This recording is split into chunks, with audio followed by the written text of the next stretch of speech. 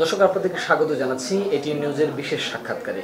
এই মুহূর্তে আমার সাথে আলোচনায় যুক্ত রয়েছেন গণ অধিকার পরিষদের সভাপতি ডাকসুর সাবেক ভিপি জনাব নুরুল হক নুর। কেমন আছেন আপনি? ভালো আছি আপনাকে ধন্যবাদ। অনেক চড়াই উতরাই পার করলেন জেল খেটেছেন নির্যাতনের শিকার হয়েছেন কিন্তু শেষ পর্যন্ত বিজয় ছিনিয়ে এনেছেন। বলা চলে যে আপনাদের একটি সরকার তারা অন্তর্বর্তীকালীন সরকারের দায়িত্ব নিয়েছেন। এখন আসলে এই সরকারের কাছে আপনাদের প্রত্যাশাটা কি? প্রথমে আপনাকে সব দেশবাসীকে অভিনন্দন জানাই যে তারা রাজপথে গণ ঘটিয়ে এই ফ্যাসিস্ট শক্তির পতন ঘটিয়েছে। আমরা হয়তো অনেক আগে থেকে চেষ্টা করেছিলাম। দু হাজার আঠারো সালে আপনি জানেন যে কোটা সংস্কার আন্দোলনে আমরা নেতৃত্ব দিয়েছিলাম ঢাকা বিশ্ববিদ্যালয় থেকে। সে আন্দোলন করতে গিয়ে আমরা অনেকেই তখন একাধিকবার হামলার শিকার হয়েছি, মামলার আসামি হয়েছি, নির্যাতিত হয়েছি, নিষ্পেষিত হয়েছি। একটা পর্যায়ে দীর্ঘ আট মাসের আন্দোলন সংগ্রামের পরে আমাদের আংশিক বিজয় সেই ছাত্র আন্দোলনে হয়েছিল বিদায়। আমরা তখন আন্দোলনটা সমাপ্ত করেছিলাম। দু হাজার উনিশ সালে দীর্ঘ আঠাশ বছর পরে ডাকসুর নির্বাচন হয়েছিল। সেখানে অংশগ্রহণ করে আমরা সেই দু হাজার আঠেরো সালে কোটা সংস্কার আন্দোলনকারী প্যানেল থেকে আমরা বেশ কয়েকটি পদে বিজয় লাভ করি, যদিও অনেকগুলো ফলাফল চিন্তাই করে নিয়ে আস, নিয়েছিল। সেই রক্তের উপর দিয়ে যে কোটার সংস্কার ত্যাগের মধ্যে দিয়ে যে সরকারি পরিপত্র কোটা সংস্কারের, সেটি আবার যখন চব্বিশ সালে আদালতের ঘাড়ে বন্দুক রেখে সরকার ফিরিয়ে আনতে চাইল, ছাত্র সমাজ বরাবরের মতোই একটা বড় ধরনের শক্তিশালী প্রতিক্রিয়া দেখাল।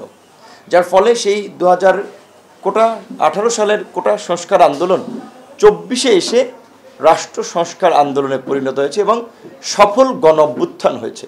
গণ অভ্যুত্থানের মাধ্যমে ছাত্র জনতার সমর্থনে বর্তমানে একটি সরকার গঠিত হয়েছে।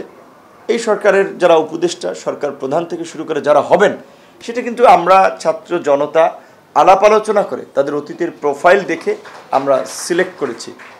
সরকারের প্রধান হিসেবে যিনি আছেন, নোবেল বিজয়ী এবং সারা বিশ্বে অত্যন্ত সম্মানিত সৎ দেশপ্রেমিক একজন মানুষ হিসেবে পরিচিত নির্লোভ নির্মোহ ডক্টর ইউনুস স্যার। তার সাথে যে একটা টিম আছে অন্তর্বর্তীকালীন সরকারের, সেটা আপনি আদিলুর রহমান শুভ্র ভাইয়ের মতো নির্যাতিত মানবাধিকার কর্মী, যাদেরকে ওই সরকার বেশ কয়েকবার জেলে নিয়ে ঝড়ানি করেছে, কিংবা ঢাকা বিশ্ববিদ্যালয়ের আপনার নন্দিত শিক্ষক আসিফ নজরুল, কিংবা অ্যাক্টিভিস্ট আপনার ফরিদা কিংবা ফরিদা আক্তার, কিংবা আপনার পরিবেশ কর্মী সৈয়দা রিজওয়ান হাসান যারাই আছে, সবাই স্ব জায়গায় তারা উদ্ভাসিত। আমার দৃঢ় বিশ্বাস যে জনগণের যে সমর্থন এবং ম্যান্ডেট যে তাদের প্রতি ছিল, ছাত্র জনতার গণ অভ্যুত্থান পরবর্তী সরকার, যেই সরকার পুরো দেশবাসীর একটা সমর্থন পেয়েছে।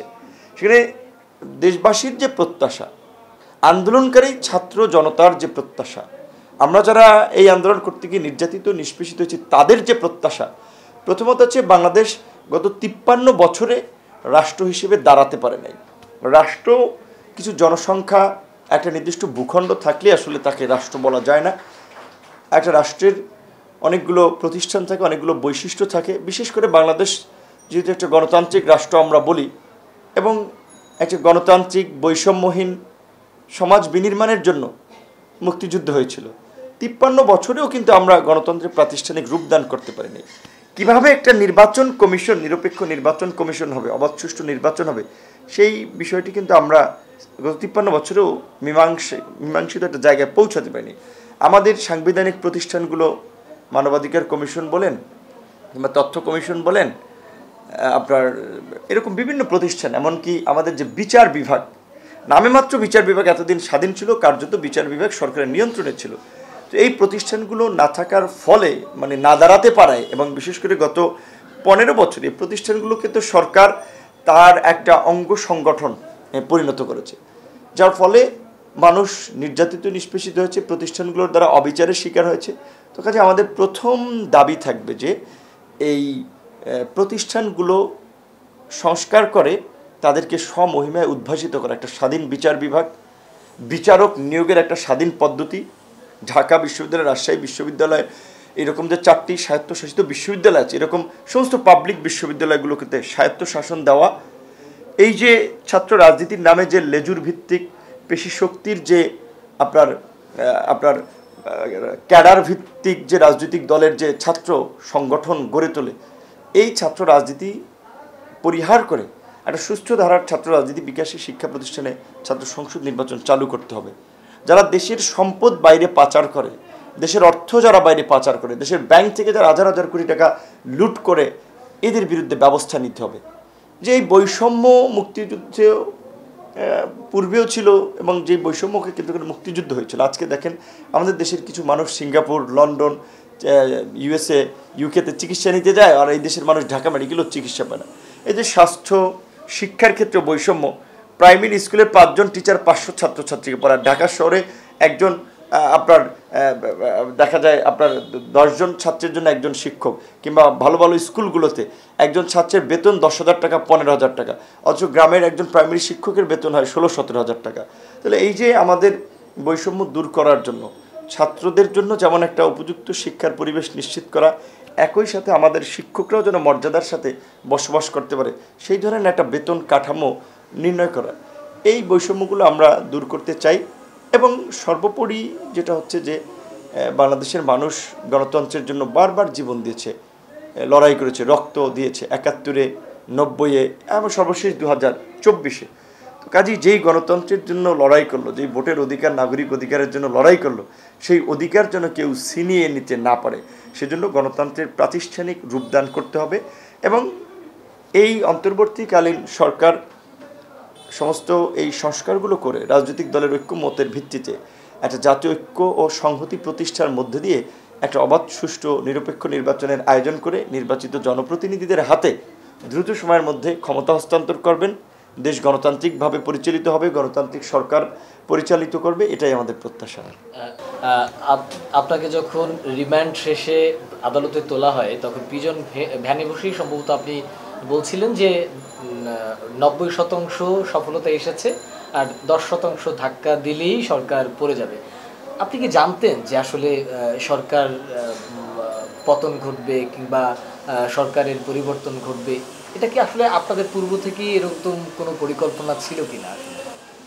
প্রথম কথা হচ্ছে যে, আপনি দেখেন পৃথিবীর কোনো দেশেই কোনো অত্যাচারী শাসক স্বৈর শাসক দীর্ঘস্থায়ী হতে পারেনি। কোনো একটা ঘটনাকে কেন্দ্র করে তাদের পতন হয়েছে। বাংলাদেশের বর্তমান মানে যেই সরকার পদত্যাগ করেছে, সেই সরকারের প্রতি এই দেশের প্রত্যেকটি শ্রেণি পেশার মানুষের যে ক্ষোভ এবং মানুষের যে রাগ, মানুষের অপছন্দ, সেটা আমরা গত জাতীয় নির্বাচনে দেখেছি। বিরোধী দলের বর্জনের মুখে তারা একটা ভোট করেছে। নব্বই, পঁচানব্বই পার্সেন্ট মানুষ ভোট দিতে চায়নি।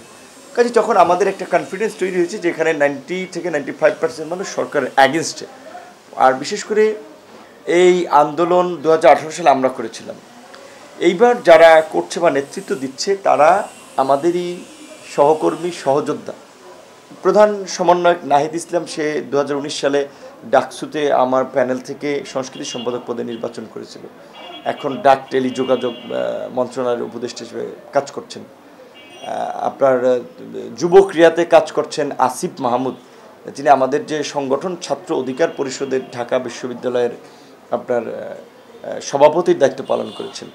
এই আন্দোলনের নেতৃত্বের অধিকাংশ যদি আপনি দেখেন যে ছাত্র অধিকার পরিষদ সংশ্লিষ্ট নেতাকর্মী, পাশাপাশি অন্যান্য দল, মতের ছাত্র সংগঠনের নেতারাও আছে। কারণ এইটা কিন্তু ছাত্র জনতা, ছাত্রদের পাশাপাশি সমস্ত রাজনৈতিক দলও কিন্তু ছাত্রদের এখানে সমর্থন দিচ্ছে। জেনারেল ছাত্রদের পাশাপাশি মাদ্রাসার ছাত্ররা এখানে কানেক্টেড হয়েছে।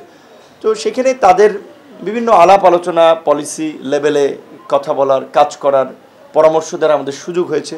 তো কাজে আমরা এটা বৃহস্পতিবার দিন থেকেই সমন্বয়কদের সাথে আলাপ আলোচনায় মোটামুটি ঐক্যমত হয়েছে যে দেশের বর্তমান পরিস্থিতিতে এক দফার আন্দোলনের কোনো বিকল্প নাই। যদি আমরা এই সরকার কখন বুঝলেন? যেহেতু আন্দোলনটা তো ছিল একটা কোটা সংস্কার আন্দোলন। এটা আসলে আপনারা কখন বুঝলেন যে আসলে এখন আর এটা কোটা আন্দোলনের মধ্যে সীমাবদ্ধ রাখা যায় না। এটা এক দফায় রূপ দেয়া দরকার। এটা আসলে কখন আপনারা বুঝতে পারছেন সেই যে বারোই জুলাই যখন প্রধানমন্ত্রীর প্রেস কনফারেন্সে তিনি জেনারেল ছাত্রদেরকে রাজাকার বলে অ্যাড্রেস করলেন এবং রাতেই যখন ছাত্ররা প্রতিক্রিয়া দেখাল, পরের দিন ঢাকা বিশ্ববিদ্যালয়, রাজশাহী বিশ্ববিদ্যালয়, বরিশাল বিভিন্ন বিশ্ববিদ্যালয়ে শক্ত প্রতিবাদ হলেও ছাত্রলীগকে লেলিয়ে দেওয়ার জন্য ওবায়দুল কাদের নিজে বললেন যে ছাত্রলীগ দেখবে। একটা সাংঘর্ষিক পরিস্থিতি তৈরি হলো এবং সংঘর্ষ কেবল বাড়তেই থাকল। তখনই আমাদের ধারণা হয়েছে যে এটা এই সরকারের পতন না ঘটিয়ে আর এই সংঘর্ষ বোধহয় থামছে না। বিশেষ করে বৃহস্পতিবার যেভাবে বিভিন্ন জায়গায় গুলি চালিয়ে মানুষ হত্যা করেছে, শুক্রবার। তখন আমা আমাদের কেন যেন বিশেষ করে আমারও মনে এটা দাগ কেটেছে যে সরকার আর টিকে থাকতে পারবে না, এত মানুষের বুকে গুলি চালিয়ে। আর বৃহস্পতিবার আবার আন্দোলনকারী সমন্বয়কদের অনেকের সাথে আলাপ আলোচনায় কিন্তু আমরা এটা আলোচনা করেছি যে এখন আমাদের এক দফার বিকল্প নাই। কারণ আমরা যদি সরকার হটাতে না পারি, তাহলে এই যে ছাত্রলীগ, যুবলীগ যে সহিংসতা করছে, গুলি করে মানুষ মারছে, আপনার মেট্রো রেল স্টেশন ভাঙচুর করছে, পোড়াচ্ছে বিটিভিতে অগ্নিসন্দ করেছে, দায় আমাদের উপরে চাপাবে। তারপরে আমি শুক্রবার গ্রেপ্তার হয়ে যাই। পরে প্রথম দফায় পাঁচ দিন রিমান্ডে থাকি। সেখানে রিমান্ডে পুলিশের অফিসারদের মধ্যেই যে আমি একটা প্রতিক্রিয়া এবং তাদের মধ্যে একটা ভয় এবং আতঙ্ক দেখেছি পুলিশ সদস্যরা বলছে যে তারা বাড়ি যাচ্ছে না। তারা তিন দিন ধরে আপনার ডিবি কার্যালয়ে থাকতেছে। পুলিশের পোশাক পরে বাইরে বেরোচ্ছে না, কারণ তাহলে লোকজন তাদেরকে পিটিয়ে মাইরে ফেলাইতেছে। তার মানে পুলিশ আতঙ্কে আছে, পুলিশ ফেল করতেছে, যেই কারণে সরকার পরে আর্মি নামালো। সো আর্মি ইন্টারন্যাশনাল বিভিন্ন আপনার চুক্তিতে স্বাক্ষর করায় ইউএন পিস কিপিংয়ে কাজ করায়, কাজে তারা সরকারের বেআইনি নির্দেশ পালন করে গণবিরোধী কর্মকাণ্ডে যুক্ত হবে না, আমার দৃঢ় বিশ্বাস ছিল। সামগ্রিক পরিস্থিতি মিলিয়ে আমার কাছে বিশেষ করে আমাকে আঠাশ তারিখ যখন কোর্টে তোলা হয়, আমার কাছে মনে হয়েছে যে সরকার কোনোভাবেই টিকতে পারবে না। যে কারণেই এটা জনগণকে কনফিডেন্স দেওয়ার জন্য, মানুষকে এনকারেজ করার জন্য আমি এটা বলেছিলাম যে নব্বই পার্সেন্ট পতন হয়ে গেছে আর দশ পার্সেন্ট পতন ঘটাতে হবে, ধাক্কা দিতে হবে। আপনারা কবি, শিল্পী, সাহিত্যিক, সব শ্রেণি পেশার মানুষ নিয়ে রাস্তায় থাকুন। তো এটা স্বাভাবিকভাবে একজন বন্দি মানুষ রিমান্ডে অত্যাচারিত, নির্যাতিত মানুষ যখন দৃঢ়তার সাথে এই কথা বলে, তখন নিশ্চয়ই সেটা সাধারণ মানুষকে এনকারেজ করে, সেটা একটা বিশ্বাসযোগ্যতা তৈরি করে। যে কারণেই কিন্তু আমি দায়িত্ব নিয়ে এবং কনফিডেন্সের জায়গা থেকে এই কথাটি বলেছিলাম। আপনি কিন্তু গত নির্বাচনেও আপনারা রাজপথে ছিলেন। অনেক বিএনপি সহ বিরোধী নেতারা অনেকে আটক হয়েছে, গ্রেপ্তার হয়েছে। কিন্তু আপনি কিন্তু আটক হন নাই বা গ্রেপ্তার হন নাই।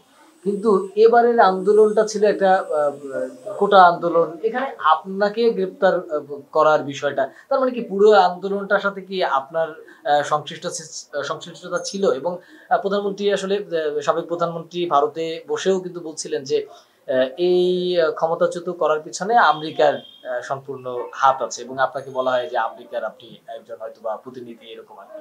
তাহলে কি আসলে এরকম কোনো পরিকল্পনা, এটা কি আগে থেকেই করা হয়েছিল কিনা?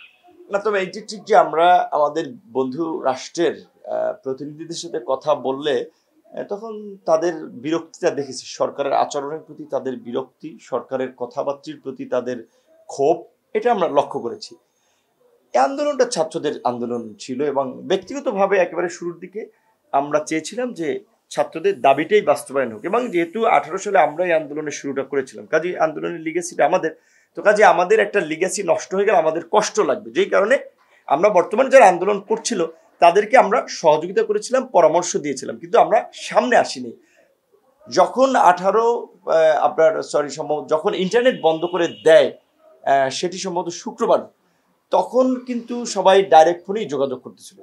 আমি আমার জায়গা থেকে, তখন আমার ফোন থেকে আন্দোলনকারী সমন্বয়কদের সাথে বিশেষ করে নাহিদ, আসিফ, সার্জিস বেশ কয়েকজনের সাথে আন্দোলনের কর্মসূচি নিয়ে কথাবার্তা বলি।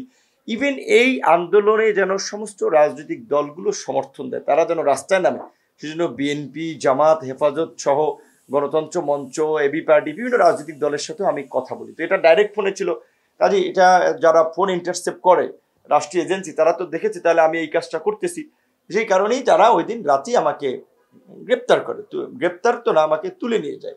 প্রথমে আমাকে দুই দিন গ্রেপ্তার দেখায়নি। যদিও আপনার নিয়ম আছে যে পুলিশকে আটক করলে চব্বিশ ঘণ্টার মধ্যে কোর্টে তুলতে আমাকে কিন্তু চল্লিশ ঘণ্টার পর্যন্ত কোর্টে তুলে নেয়। আমাকে প্রথমে র্যাব এবং ডিজিএফআই নিয়ে গিয়েছিল। তাদের যৌথ ইন্টারোগেশন সেলে টর্চার করেছে আপনার তারপরে জিজ্ঞাসাবাদ করেছে এবং টর্চার করেছে। আমি অজ্ঞান হয়ে গিয়েছিলাম, সেন্সলেস হয়ে গিয়েছিলাম।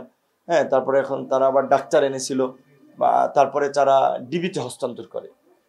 পরে ডিবিতে যে দুই দফায় দশ দিন রিমান্ডে ছিলাম, ডিবিতেও ব্যাপক অমানবিক নির্যাতন করেছে এবং সেটা আমার সাথে না, শুধু সমস্ত রাজনৈতিক দলের নেতাকর্মী যারা আপনার এই ডিবি কার্যালয়ে রিমান্ডে ছিলেন, তাদের উপরে কিন্তু একটা অমানবিক নির্যাতন নিপীড়ন হয়েছে। আমি কিন্তু বলেছিলাম যে, এখানে সাবেক এমপি, মন্ত্রী, জাতীয় দলের ফুটবলার, সিনিয়র নেতা তাদেরকে ঝুলিয়ে পিটিয়েছে। দফায় দফায় পিটিয়েছে। এটা কিন্তু আমি বলেছিলাম। এবং এই ভিডিও নাকি প্রধানমন্ত্রীর কাছে পাঠাতে হতো যে বিরোধী দলের নেতাদের সাইজ করতেছে। এরকম একটা পৈশাচিক পরিস্থিতি, একটা অবর্ণনীয় দুঃখ, কষ্ট আমরা ফেস করেছি। তারপরেও আমরা এটাকে সন্তুষ্ট যে এই ফাঁসি শক্তির পতন হয়েছে, আল্লাহ আমাদেরকে মুক্ত করেছে, এটাই আমাদের বোধহয় বড় পাওয়া। পরিষদ তো এখন পর্যন্ত নিবন্ধিত রাজনৈতিক দল না। তো সেক্ষেত্রে আসলে আগামী নির্বাচনকে ঘিরে আপনাদের পরিকল্পনাটা আসলে কি? যেহেতু আপনারা তো আসলে নির্বাচনে যেতে পারবেন না যদি ওই রকম ভাবে যেতে হলে দলগত ভাবে না অথবা আপনার ব্যক্তিগত ভাবে নির্বাচন করতে পারেন। কিন্তু আসলে তাহলে আপনাদের এখন পরিকল্পনাটা কি আসলে?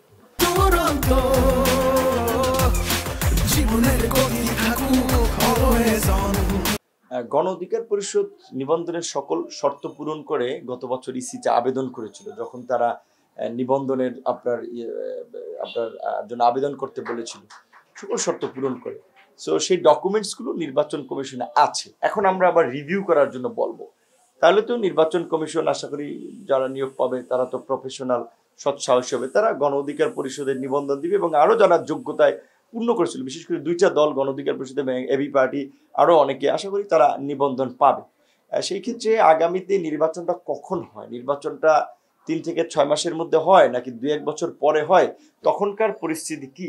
সেই পরিস্থিতি দেখে কিন্তু আমাদেরকে সিদ্ধান্ত নিতে হবে। যেমন এখন হয় যে আসলে তিন থেকে ছয় মাসের মধ্যে নির্বাচন হওয়ার মতো অবস্থায় আসলে বাংলাদেশ আছে?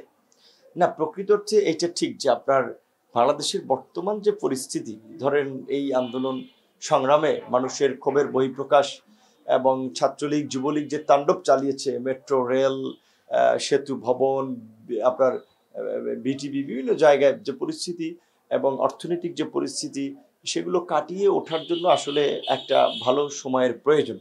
তো, সেটা আমি মনে করি যে আসলে তিন থেকে ছয় মাসের মধ্যে খুব ডিফিকাল্ট হয়। এখন রাজনৈতিক দলগুলো সামগ্রিক পরিস্থিতিতে সিদ্ধান্ত নিতে হবে যে তারা নির্বাচন অন্তর্বর্তীকালীন সরকারকে কতদিন সময় দিতে চায় বা দিবে।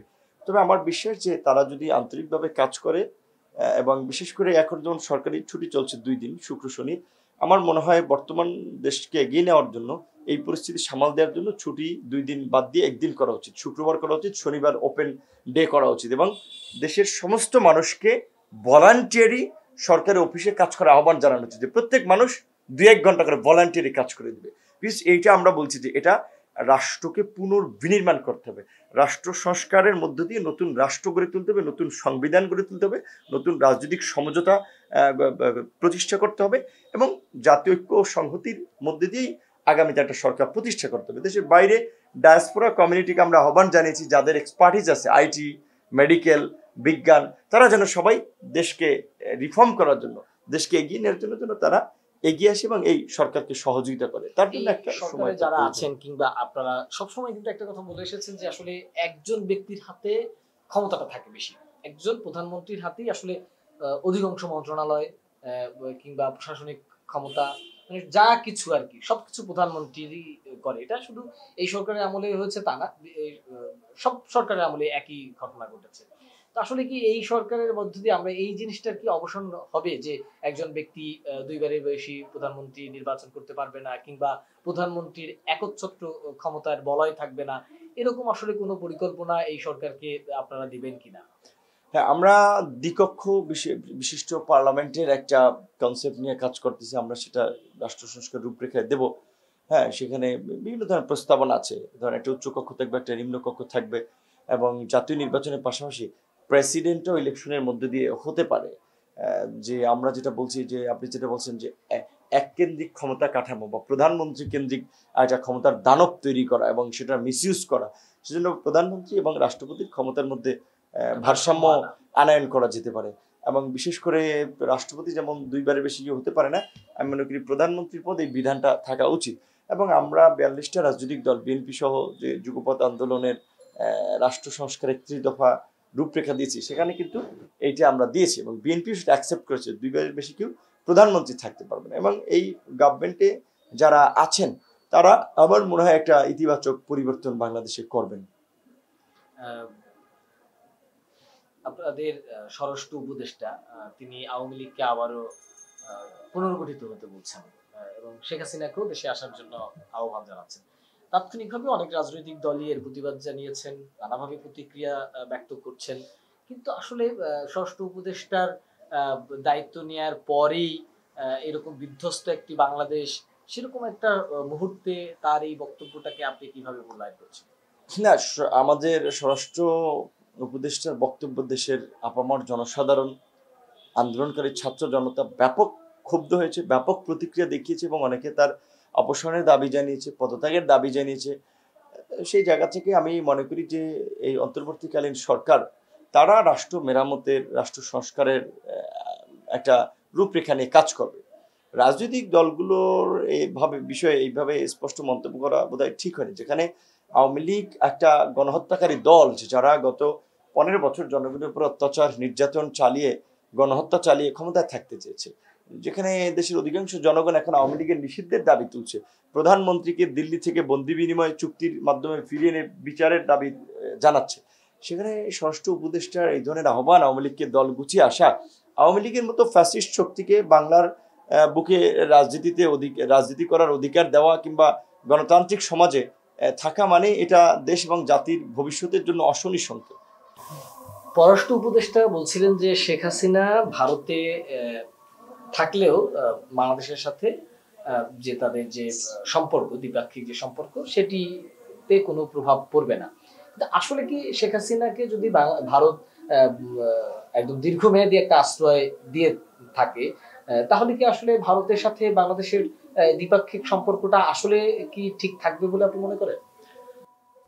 প্রথমত আমাদের প্রতিবেশী রাষ্ট্র ভারত বিশেষ করে গত পনেরো বছরে যে আচরণটা করেছে সেটা দেশের মানুষের সামনে পরিষ্কার যারা একটা জনবিচ্ছিন্ন ফ্যাসিস্ট শক্তিকে ক্ষমতায় রাখার জন্য জনগণের বাইরে গিয়ে তাদেরকে সাপোর্ট দিয়েছে। এবং সেই জনগণের জনরোষে যেই সরকারের পতন হয়েছে, সেই ফ্যাসিস্ট সরকারকে ভারত আশ্রয় দিয়েছে কিন্তু বাংলাদেশের মানুষ খুব ভালোভাবে নেয়নি। সেখানে ভারতের উচিত ছিল যে ভারত থেকে প্রধানমন্ত্রীকে বের করে দেওয়া। অন্য দেশে যদি যেতে চায়, তিনি সেই সুযোগ দেওয়া। অথবা বাংলাদেশের মানুষের কাছে, বাংলাদেশ রাষ্ট্রের কাছে ফিরিয়ে দেওয়া। কারণ যেহেতু বাংলাদেশের মানুষ তার বিচার দাবি করছে এবং তিনি গণহত্যা চালানোর নির্দেশ দিয়েছেন। তিনি অস্ত্র দিয়ে গুলি করে আপনার মানুষ হত্যা করার নির্দেশ দিয়েছেন। এবং সামরিক বাহিনী দুই হাজার আপনার বিশেষ করে নয় সালে আপনার পঁচিশে ফেব্রুয়ারি যে পিলখানা বিদ্রোহের নামে সে সময় সামরিক বাহিনী তো এই ব্যাপারটা হত্যাযজ্ঞ চালিয়েছেন। কাজে এই যে বিভিন্ন ঘটনা, এতে তো প্রধানমন্ত্রীর ফাঁসি হবে, আইনগতভাবে বিচার করা গেলে। সেই ধরনের একজন ঘাতককে সরকারের প্রধান ঘাতক আপনার জন, গণবিরোধী একটা সরকার যে আপনার জনগণের ভয়ে যান বাঁচাতে শেষ পর্যন্ত পালিয়েছে, তাকে আশ্রয় দেওয়াটা আমি মনে করি অবশ্যই এটা বাংলাদেশের সাথে ভারতের সম্পর্কে প্রভাব পড়ছে এবং পড়বে। কিন্তু বাংলাদেশের সাধারণ মানুষ তো ভালোভাবে নিচ্ছে না। ভারত এতদিন একচেটিয়া আওয়ামী লীগকে সমর্থন দিয়েছে। আওয়ামী লীগের রাজনীতি তো নিষিদ্ধ হবে এখন। তাহলে নতুন রাজনীতি আসবে। তাহলে এই যারা সরকার গঠন করবে, সামনে যারা আসবে, তাদের সাথে ভারতের কাজ করতে হবে না।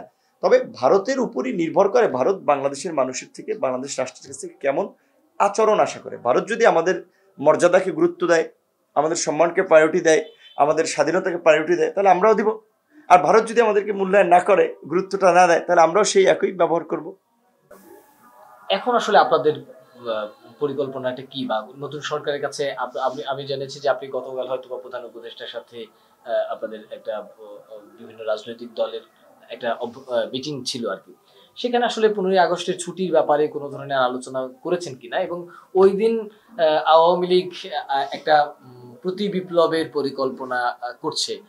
তারা হয়তো আবার রাজপথে নামার একটা চিন্তা ভাবনা করছে। সেক্ষেত্রে আসলে আপনাদের কোনো ধরনের প্রস্তাবনা এই অন্তর্বর্তীকালীন সরকারকে দিয়েছেন কিনা এবং ওই দিন ঘিরে আসলে আপনাদের কোনো পরিকল্পনা আছে কিনা? প্রথম দেখেন, পনেরোই অগস্ট বিশেষ করে উনিশশো পঁচাত্তর সালে শেখ মুজিবুর রহমান সাহেব এবং তাকে সপরিবারে যে হত্যা করার ঘটনা, সেটি একটি নিন্দনীয় ঘটনা। যে কোনো ধরনের হত্যাকাণ্ডেরই আমরা নিন্দা জানাই। এটা উচিত না। এবং যে কোনো হত্যাকাণ্ডের বিচারের হওয়াটাও জরুরি বলে আমরা মনে করি। সেই কারণেই কিন্তু আমরা এই গণহত্যা চালানোর অভিযোগে ওবায়দুল কাদের, শেখ হাসিনা সহ সরকারের মন্ত্রী এমপিদেরকে বিচারের মুখোমুখি করার আহ্বান জানিয়েছে আন্তর্জাতিক নীতিমালা মেনে। এখন পনেরোই অগস্ট আওয়ামী লীগ জোর করে তাদের রাজনীতিকে গ্লোরিফাই করার জন্য, তাদের রাজনীতি করার জন্য তারা এই পনেরোই আগস্টকে জাতীয় শোক দিবস হিসেবে ঘোষণা দিয়েছে। তারা জাতীয় শোক দিবস হিসেবে দেশের টাকা খরচ করে জনগণকে জিম্মি করে দোকানদার, ব্যবসায়ীদের কাছে গরু নিয়ে, চাল নিয়ে, ডাল নিয়ে তারা এই কাঙ্গালি বোঝ খিচুড়ি এগুলো করে থাকে। এখন আওয়ামী লীগ তাদের নেতা শেখ মুজিবুর রহমানকে স্মরণ করবে। আমরা, বিশেষ করে বাংলাদেশেই তো মানুষ, শেখ সাহেবের যে মুক্তিযুদ্ধ অবদান, সেটি অস্বীকার করার মতো হয় না। আমরাও তার জন্য রেসপেক্ট দেখাই, দোয়া করি। কিন্তু তার মানে এটা না যে সমগ্র জাতিকে কাজকর্ম বন্ধ রেখে আসলে শোক দিবস পালন করতে হবে। বিশেষ করে পঁচাত্তরের পনেরোই অগস্টের যেমন একটা ঘটনা আছে দু হাজার চব্বিশ সালের অগস্টের একটা ঘটনা আছে কিন্তু। বিশেষ করে বাংলাদেশে জুলাইয়ে যেভাবে নির্বিচারে রাস্তার শান্তিপূর্ণ মানুষকে হত্যা করা হয়েছে একটা পরিবার না, একজন ব্যক্তিকে না শত শত পরিবার, শত শত লোককে। সেটা আমি মনে করি বাংলাদেশকে, জুলাই মাসকে বাংলাদেশের জাতীয় শোকের মাস হিসেবে ঘোষণা করা উচিত এবং বিশেষ করে অগস্টকে, অগস্ট বিপ্লব হিসেবে ঘোষণা করা উচিত। যেমন অক্টোবর বিপ্লবের কথা আপনারা জানেন, ঠিক একইভাবে এই অগস্টে পাঁচ তারিখ তো এই রেভলিউশনটা হয়েছে। সেই জায়গা থেকে কারণ আন্দোলনকারী ছাত্র জনতা তো এই তাদের রেভলিউশনকে উদযাপন করবে, তারা এটাকে আপনার স্মরণ করবে। আওয়ামী লীগের নেতাকর্মীরা হয়তো তাদের নেতাকে স্মরণ করবে। সেটা যার যেটা ইচ্ছা, যে যেটা করবে, সেটা সে করতে পারে। তবে রাষ্ট্রীয়ভাবে যেহেতু এতদিন গণতান্ত্রিক সরকার ছিল না, একটা স্বৈরাচারী ফাসিস্ট সরকার ছিল, তারা রাষ্ট্রীয়ভাবে শোক দিবস পালন করেছে। এখনকার আন্দোলনকারী ছাত্র জনতা, প্রধান উপদেষ্টা সহ উপদেষ্টাদের পরিষ্কারভাবেই জানিয়েছে যে এটা আওয়ামী লীগের রাজনীতিকে গ্লোরিফাই করার জন্য। কাজে কাজে এটা রাষ্ট্রের কোনো এটাতে উপকার নাই। তাই শোক দিবসে সরকারি ছুটি না দেওয়ার জন্য যেন এই দিন সবাই অফিস আদালতে কাজ করতে পারে। রাজনৈতিক দলগুলো তাদের মতামত দিয়েছে এখন উপদেষ্টারা তাদের সিদ্ধান্ত নেবেন। নির্বাচন এখন হোক কিংবা এক বছর পরে বা দু বছর পরে বা তিন বছর পরে যখনই হোক না কেন। সেক্ষেত্রে আসলে আপনাদের পরিকল্পনা কি? কোনো রাজনৈতিকভাবে জোট করার কোনো পরিকল্পনা আছে? নাকি এককভাবে নির্বাচন যাওয়ার পরিকল্পনা আছে? আসলে আপনাদের পরিকল্পনা। আমরা এই ফ্যাসিস্ট হাসিনাকে বিদায় করতে বিএনপি জামাত সহ সম্ভাবনা যুগ রাজনৈতিক দলগুলো কিন্তু আলাপ আলোচনার ভিত্তিতেই আমরা যুগপৎ আন্দোলন করেছিলাম এবং এখনও বিভিন্ন কর্মসূচি মাঝে মাঝেই হচ্ছে। কাজে আমাদের যে সেই বিরোধী দলের যে রাজনৈতিক দলসমূহের যে জোট, যুগপৎ আন্দোলনের জোট, সেটি কিন্তু এখন আছে। এখন সামনের পরিবর্তিত পরিস্থিতি আসলে সিদ্ধান্ত হবে। এখন যেমন সংখ্যানুপাতিক নির্বাচনে একটা আলাপ আলোচনা আসতেছে। তো কাজে সেক্ষেত্রে আপনি যদি এক পার্সেন্ট ভোটও পান, আপনার তিনটে এমপি থাকবে একশোর মধ্যে। আপনি যদি দুই পার্সেন্ট ভোট পান আপনার ছয়টা এমপি থাকবে। ফাইভ পার্সেন্ট ভোট পেলে পনেরোটা এমপি থাকবে। কাজে এখন সামনের পরিবেশ পরিস্থিতিতে সিদ্ধান্ত নিতে হবে যে জোট করে নির্বাচন করলে আমাদের জন্য ভালো হয় নাকি সিঙ্গেললি আমাদের প্রার্থীরা মুভ করলে আমাদের ভালো হয়? সেটা একটু সিদ্ধান্ত নিতে হবে আলাপ আলোচনা আপনি যখন রিমান্ডে ছিলেন বা বন্দী ছিলেন আপনার স্ত্রী একটা সংবাদ সম্মেলন বলেছিলেন যে আপনি আর রাজনীতি করবেন না। এটা কি আসলে কষ্ট থেকে বলেছেন? নাকি আসলে আপনাকে নির্যাতিত হতে দেখে আসলে এটা কি আসলে আপনি কীভাবে দেখছেন? এখানে দেখেন, বাংলাদেশে ভিন্ন মতের রাজনীতি করার কারণে গত পনেরো বছরে অনেক মানুষ নিখোঁজ হয়েছে, গুম হয়েছে। অনেক মানুষ পঙ্গু হয়েছে, মামলার আসামি হয়েছে, দেশ ছেড়েছে। এই অবস্থা দেখে তো আসলে এই সমস্ত পরিবারের লোকেরা, তাদের পরিবারের সদস্যকে রাজনীতি করতে দিতে চায় না। আমাদের উপরে যে নির্যাতন নিপীড়ন হয়েছে, তার কিছু অংশ তো আমার স্ত্রী শুনেছে, আমি তো কিছু বলিনি। যেই কারণে এবং আমা- আমাকে বলা হয়েছিল যে যদি আমি এই রিমান্ড থেকে বেরোয় এখান থেকে দেশের বাইরে চলে যাই তাহলে আর অন্য মামলায় জড়াবে না না হলে এক দেড়শো মামলায় জড়াবে। সেই জায়গা থেকে আমার স্ত্রী বলেছে কিন্তু আমরা এই যে ত্যাগ স্বীকার করেছি নিজে নির্যাতিত নিষ্পেষিত হয়েছি রাজনীতির জন্য দেশের মানুষের পক্ষে কথা বলতে গিয়ে অধিকার আদায় করতে গিয়ে সুতরাং এটা তো আমরা চাইলেই রাতারাতি আসলে ছেড়ে দিতে পারি না। এক সময় আপনাদের ছোট ভাই আপনাদের সাথে কাজ করা উম, আহ, যারা কাজ করেছেন, তারাই আজকে সরকারে এসেছেন। বলা হচ্ছে যে সরকারি চাকরির কোটা চাইতে গিয়ে এখন তারা নিজেরাই সরকার হয়েছেন। এটাকে আসলে আপনি অনেকে এটাকে ইতিবাচক ভাবেই দেখছেন? কারণ অনেকে হয়তো বা সদ্য গ্রাজুয়েশন কমপ্লিট করেছেন আবার কেউ গ্রাজুয়েশন কমপ্লিটও করেন নাই, কিন্তু তারা এখন সরকারের উপদেষ্টা। এটা বাংলাদেশের ইতিহাসেও আসলে এই প্রথম একটা ঘটনায় ঘটলো আসলে। এটাকে আসলে আপনি কীভাবে মূল্যায়ন করেন? এটা সময়ের বাস্তবতা। ধরেন অনেকদিন ধরেই আমাদের দেখবেন সিনিয়র সিটিজেন সিনিয়র পলিটিশিয়ানরা কিন্তু বারবার বলে আসছিল যে তরুণদের আগামী রাষ্ট্র পরিচালনার দায়িত্ব নিতে হবে, তরুণদের এগিয়ে আসতে হবে। অথচ তরুণদের জন্য কিন্তু কোথাও কোনো স্পেস নাই। এই যে বিয়াল্লিশটা পাবলিক বিশ্ববিদ্যালয়, ঢাকা বিশ্ববিদ্যালয় আঠাশ বছর পরে ছাত্র সংসদ নির্বাচন হয়েছে। কোনো জায়গায় ছাত্র ইউনিয়ন মানে ছাত্র সংসদ নির্বাচন নাই। দলীয় রাজনীতির এতটা নগ্নভাবে ঢুকে পড়েছে। তো কাজেই সেই জায়গা থেকে এই ছাত্র রাজনীতির গুণগত পরিবর্তন কিংবা আপনার বিশেষ করে আমরা যদি দেখি নব্বই এবং একাত্তরে ছাত্র, যুবক, তরুণরা জীবন দিয়েছে, সংগ্রাম করেছে একটা ইতিবাচক পরিবর্তনের জন্য। কিন্তু নব্বইয়ের পরে, একাত্তরের পরে যারা শাসক ছিলেন, তারা আর পরবর্তীতে ছাত্র, যুবক, তরুণদের কথা শোনেন নাই, তাদেরকে প্রাধান্য দেন নাই। তো সেই জায়গা থেকে আমরা দাবি জানিয়েছিলাম যে এইবার অন্তর্বর্তীকালীন সরকারের যেন ছাত্র বা তরুণদের প্রতিনিধি থাকে, যেন অন্য তরুণদের জন্য সেটা একটা এক্সাম্পল হয় যে ওকে যদি তোমার মেধা থাকে, দক্ষতা থাকে দেন তুমি নেক্সট গভর্নমেন্টও আসতে পারো। ইন্টারিম না নেক্সট ইন্টারিম গভর্নমেন্ট তো ছয় মাস, এক বছরের জন্য যা হবে, কিন্তু নেক্সটে তো আপনার রাজনৈতিক সরকার তো ফাইভ ইয়ার্সের জন্য হবে। সেই জায়গা থেকে আমি মনে করি ওরা গিয়েছে, এটা ঠিক আছে, এটা তরুণদেরকে আরও এনকারেজ করবে মোটিভেট করবে। রাজনীতিতে আগাই আসতে কারণ ভালো মানুষের হাতে রাজনীতি না থাকলে তো দেশ ভালো চলবে না। সেই জায়গা থেকে আমি ব্যক্তিগতভাবে মনে করি ভালো পদক্ষেপ এবং ভালো হয়েছে। কি বার্তা আছে আসলে এখন দেশবাসীর উপর? দেশবাসীর প্রতি আমাদের আহ্বান হচ্ছে আমরা একটা বিপ্লব করেছি আমরা একটা অসাধ্য সাধন করেছি। এটা কোনো একক ব্যক্তি কোনো স্পেসিফিক গোষ্ঠী তাদের কৃতিত্ব না। ছাত্র সমাজ আন্দোলনের নেতৃত্ব দিয়েছে, ডাক দিয়েছে ছাত্রদের সাথে। সকল মত পথের ছাত্ররা, নাগরিকরা রাস্তায় নেমেছে, রাজনৈতিক দলগুলো সহযোগিতা করেছে, যার ফলেই এটি সম্ভব হয়েছে। আগামীতে যেন এটি আমরা ধরে রাখতে পারি, রাষ্ট্র মেরামতে, রাষ্ট্র পুনর্গঠনে আমাদের চিন্তা চেতনাগুলো যেন শেয়ার করতে পারি এবং উপদেষ্টা বা অন্তর্বর্তীকালীন সরকার যেন সেই লক্ষ্যে কাজ করতে পারে, সেইভাবে আমাদেরকে সহযোগিতা করতে হবে। এই যে রাজনৈতিক পট পরিবর্তনের পরে আমরা দেখছি যে কিছু লোক দখলদারের মতো জায়গা দখল করছে বিল্ডিং দখল করছে, পত্রিকা অফিস দখল করছে, টেলিভিশন চ্যানেল দখল করছে, বিভিন্ন জায়গায় হামলা করছে টাকা লুটপাট করে নিচ্ছে। এই নৈরাজ্য যদি চলতে থাকে, তাহলে আসলে বিদেশিরা আমাদেরকে কিন্তু মানে রাষ্ট্র বিনির্মাণে সহযোগিতা করবে না। আমাদের প্রতি ইতিবাচক হবে না। ইভেন দেশের মধ্যেও মানুষ তখন একটা অস্থির অবস্থায় থাকবে। কাজে দেশের শান্তি এবং স্থিতিশীলতা ফিরিয়ে আনতে দেশের উন্নয়নের স্বার্থে আমাদেরকে সহনশীল হতে হবে। আমাদেরকে ইতিবাচক হতে হবে এবং সবাইকে নিয়ে কাজ করতে হবে। তবেই এই বিপ্লবের আপনার আমি মনে করি একটা সফল পরিসমাপ্তি হবে, বিপ্লব সফল হবে। অন্যথায় বিপ্লব থেকে প্রতি বিপ্লব সোশ্যাল অ্যানার্কি কিন্তু তৈরি হতে পারে।